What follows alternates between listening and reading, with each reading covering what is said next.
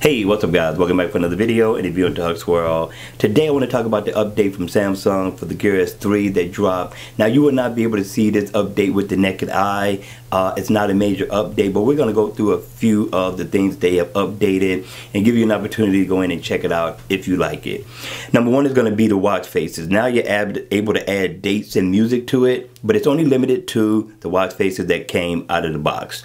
Number two, a timid Timid barometer, I can't say that correctly, as the new auto refresh feature for those of you all who use that. Uh, number three is going to be S Health. S Health now gives you a customized coaching feature uh, that helps you in the HR zone. Uh, also information and features for stretching too as well. Also, S Voice allows you to set dates and time and reminders now. Uh, I believe that will work if it allows me to finish my sentence. Okay, number five is going to be news briefing for those of you all who use that widget and who reads the news, uh, it just gives you more of that information about the news that you're reading. Number six, you are able to now input languages, uh, additional languages, which are available for download. Number seven, Find My Device as a feature where you can send your contact. If a person found your phone, they're able to call you so therefore you can get the information and have your phone shipped back to you. I haven't found that feature yet. If you have, hit me down in the comment section down below. Okay, uh, accessibility.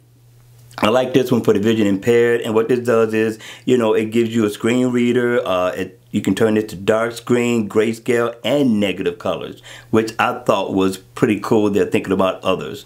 Um, also, you got an iOS iOS enhancement so far as the US is concerned. S voices got refreshed. And you got number 10, which is auto switch. So if you got the Gear S2 and you switching between Gear S smartwatch, it's gonna auto connect. Don't know why that wasn't added anyway, but now it's here. Number 11, stopwatch.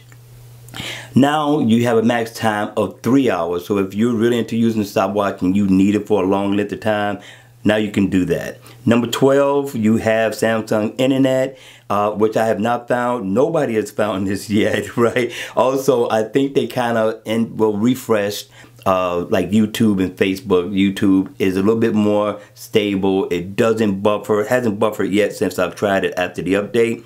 Pretty good. Number 13 is going to be now um, new partner apps available for download in the Gear App Store. Uh, like Spotify now has the streaming services that you can get and the BMW connected service which is for the people who have BMW to remote start their cars. So that's pretty much it for the update guys. I don't know what you think. Hit me down in the comment section below. I think that they still have a long way to go uh, so far as really tweaking it to where we can get the most out of this smartwatch. But other than that, it is still at the top of the food chain. Okay, guys, that's going to be it for this video. I hope you enjoyed it. I hope it was informative. And if it was, please make sure you hit the like button down below. And if you want to see more videos like this, then please subscribe to my channel. And as always, I will see you all at the next video. Take care.